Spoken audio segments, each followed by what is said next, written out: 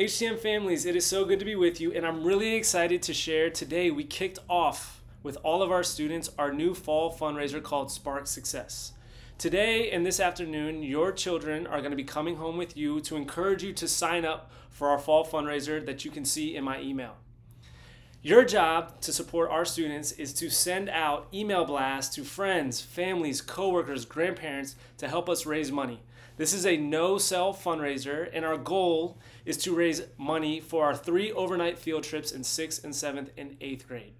Now, our students have goals that they've set for themselves during their advisories, and I'm going to bring my friends in here to share them with you. Our goal is to raise $150 per family in donations. Let's go. Our school-wide goal is to raise $40,000.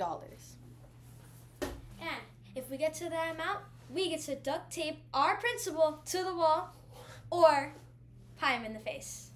Last but not least, if we achieve that goal, all of our kids will be able to attend a day of awesomeness on November 17th. Yeah!